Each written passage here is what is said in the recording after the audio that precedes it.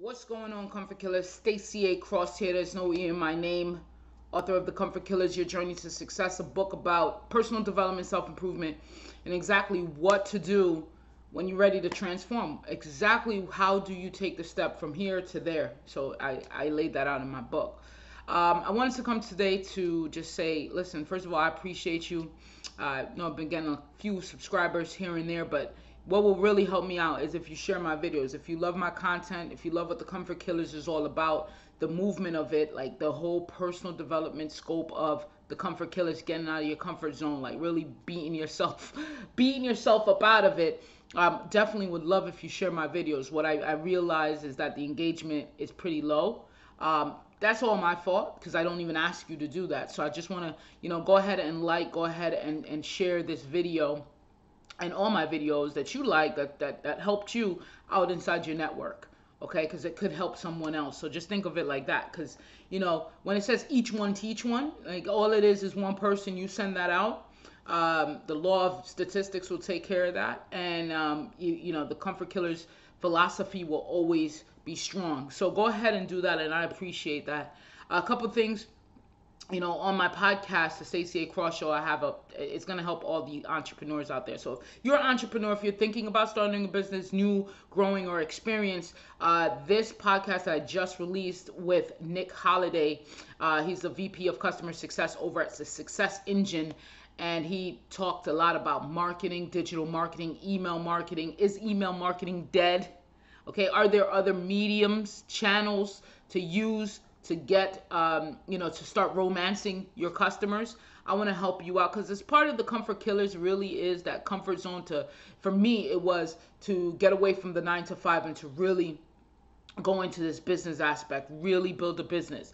Now the comfort killers as you know is a personal development uh, platform and also you know just a conglomerate of all these people that i work with and helping them put out their products and and just focused on self-improvement like the inner self-improvement. But once you develop yourself you're going to create a mindset that says i'm no longer okay. I'm no longer okay with status quo. I'm no longer okay with the nine to five. I want to build my own thing. You know um, i want to be my own boss. It's okay to say that. I want more money.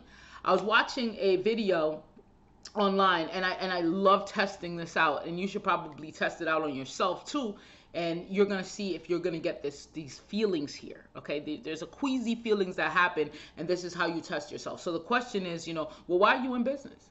Why are you in business? Um, you know why are you a coach? Uh, why did you go why are you a real estate investor? Why are you a um, real estate agent Okay, why are you selling this? What's your product? You know, whatever your product or service is, whatever the reason for you getting into uh, business, what is that reason? And I was watching a video and it was uh, with real estate, and I believe it was Bellino. He's a cool cat, you know, and uh, he's he has a group in a workshop, and he asked the question, "Hey, why do you guys want to become a real estate agent? What was the reason? Why real estate? You know, why you want to do this?" And a few hands went up, and the first one, you know, questions and the answers was, you know, I like people. And the second one was, well, you know, I, I love I love homes. Like I love the actual real estate, like real estate, real property. And, and he was like, I never understand why people just don't say I like money. Like I want money. I want to be good. I want to be good so I could be good with for other people, my family, my kids people have a real hard time saying that. Now, I'm going to ask you if you are in business, if you are thinking about getting in business, or if you're an experienced entrepreneur. I know a lot of people are going to say, hey, yeah, why gotta be so big that it keeps you up at night? You know what? Well, I don't want to be, what, 70 years old. My man um, Lance says this the other day. I don't want to be 70 years old in a hospital, in a nursing home, eating freaking like chew, um, mashed up green beans or something like you know like i don't i want to be able to live my life enjoy my life. I don't want to be living on social security checks.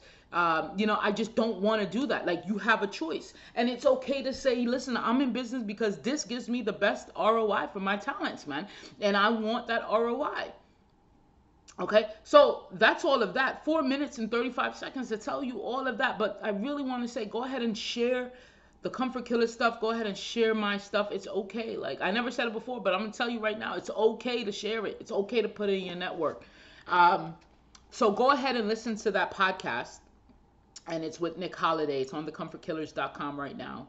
And I just launched the Hustler's Ambition podcast with Thelonious C. Jones, the realist real estate investor, um, and also Stephen Holt, who's also a real estate investor, credit finance. The whole podcast, Hustler's Ambition, it's for hustlers, it's for comfort killers, but it's more geared around finance and, and getting your money right, credit, and all of that. So that's also at thecomfortkillers.com.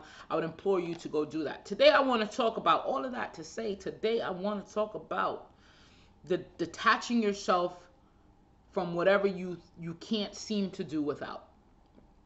Uh, one of the things that keeps you in a a downward spiral is the inability to detach yourself from what you think you can't seem to uh, do without. For me, the downward spiral was okay, uh, gambling. Okay, I, I can't seem to do without this thing. Like I, so I got over that. But also, even on another scale, my nine to five, okay, my job, my employer, I was being validated through them.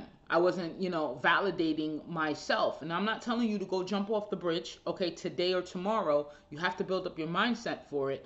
And, and you need a lot of self improvement to do this. But understand that you have to detach. Maybe you're detaching yourself from a relationship that's not going anywhere. You know what a, a thriving relationship looks like. Okay, maybe you got to detach yourself from that, or maybe your past, your past failures, how to detach yourself from your past failures. The sooner you do that, the sooner you detach yourself, the sooner you feel better, the sooner you begin transformation. If you're looking for transformation, true transformation, you have to detach from something, right? Don't you agree? We got to get rid of something. We have to, um, and it's not adding more to us, it's really just getting rid of something. So, you could waste a lot of time. And why are we scared to detach? We're scared to detach because we fear the unknown. Okay? We fear the unknown. But there's a personal power, okay, inside. And I'm just looking at, at this notes here. There's a personal power inside that we could create new realities. But we can't create new realities with the same old attachments, okay? So without knowing that there's a pattern to the creative process, and this is what I want to tell you, a creative process, you could actually get out faster. And the create um the, the creative process, and I spoke about this in uh what did I actually have a podcast on it. So go ahead and go to the Comfort Killers and, and, and listen to the entire podcast about the creative process. And that creative process is create, persist, and destroy. Create, persist, and destroy. A lot of people, okay, stay in the destroy phase. Now, when we create, that's the desires. That's the burning feelings. That's I got to do something. I want to transform. I have all these things I want. You know, and you start putting it out there and you really start setting a reality for yourself okay? And then the persist is exactly what it, it sounds like right? The definition to, to keep it going actually to coast on this now you know? Um, you you've achieved something that you created. You achieved something that you put your mind to in the create phase right? And then you go around this loop and then destroy is you created it now what? Now what? It's there now what it's like when we start getting despair, we start feeling like we're inadequate. We start feeling like we don't have what it takes and we start getting dis- depressed a little bit, a little bit of apathy. Jealousy comes in this destroy period. Why? Because you've already achieved something, it's long gone, there's nothing. Like, think about this when we want a new relationship with someone and someone that we love, like we actually love looking at them, we like their conversation, we're like, man, we got to get in a relationship with this girl, with this guy and you go ahead and court them like you put the desire out there that feeling in that create space tell me that feeling is great right? Like you will do anything like you put you have a beautiful imagination about the relationship how it's going to be. You have you set the intentions out there and boom you get the girl you get the guy. And then you're in this persist phase and you build a relationship. You you know you have a couple kids you got a couple things going on and it's just it's just there. Or maybe you got comfortable and you know you start coming home and you're just watching tv your girl or guy is just you see what i'm saying? So you could be in this persist part for a while. And then what happens? Something takes a turn. Something takes a turn. You you set a goal you like the girl or guy you got the girl or guy and then you're just coasting and then something takes a turn. Now you start feeling this resentment Okay, now you start feeling like I should, you know, is this worth it? You know, what am I gonna do? I hate about, I hate this about them. I hate that about them. You start picking up all these things that add the fuel to this destroy period, and the faster you get out of it. Now, I want to tell you how to get out of that. Now, and this is what I want to tell you how to transform yourself. Now, this is the creative process that works in anything, with anything. And I want you again to go to thecomfortkillers.com find the episode, search, create, uh, persist, destroy. You're gonna get the full episode on this because that's really important. You got to get the juice, the under, the underbelly information on this. You can't just take the surface information. I'm about to give to. Woo! You saw that? I'm about to give to YouTube. Um, so how you do that? How you do that? How do you get out of destroy? Because we're always seem to be in destroy, and some people could be in destroy for like years two years, four years, 30, 30 years, they could be feeling this way, bad, down, depressed, suppressed, you know, all of it. All right, so here's here's how you get out of it. Create new goals. Create new things. You see what I'm saying? That, like how easy is that?